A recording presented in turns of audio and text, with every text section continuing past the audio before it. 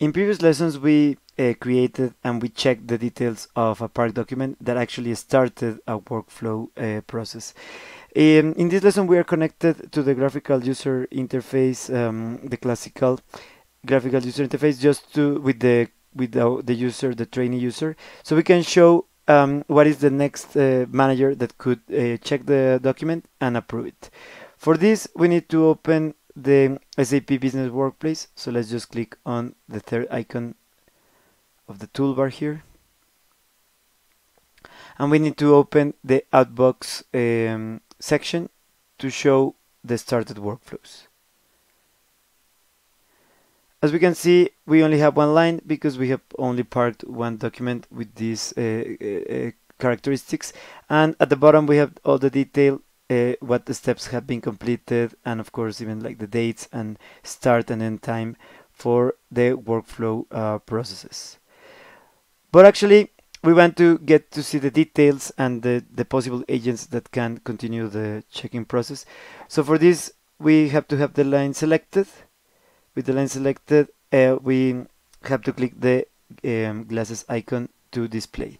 Also we just want to briefly mention that uh, again we are connected with the trainee uh, user and uh, we don't have for example an execute uh, push button. That's going to be a difference when we continue the process and we log uh, with the manager's user.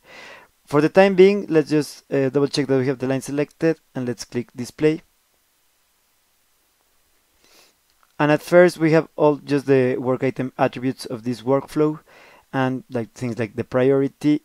Um, but what we want actually to see is the workflow log. So let's click on the first uh, push button that we have here on the toolbar for this transaction. And this will show actually the workflow log. As you can see, we have some steps that have already been completed.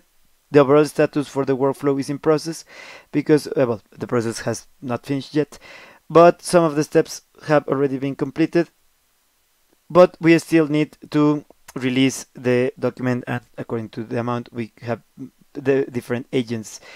Um, to see the possible agents, uh, actually uh, in the agent column we only have one push button, which is for the last step that we have now, the release amount step. So let's click on agents and in the pop-up let's click again on agents. So now we know that uh, only two uh, possible users um, are uh, well have enough authorization and credentials to approve the document.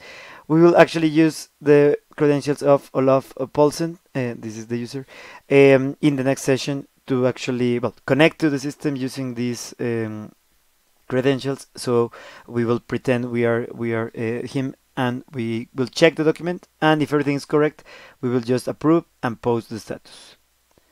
Right now, uh, after we have seen this, we can just uh, close the pop-up. And actually we can just um, quit this transaction. We can just go back, back again. And actually uh, we can even um, log off of the system because again in the coming sessions we will uh, connect using the um, credentials of uh, the other user so we can continue the process. So do you want to log off? Yes. And with this, well, we have uh, quit the um, the system now, and this will be it for this lesson. Of course, we invite you to keep learning with the next one.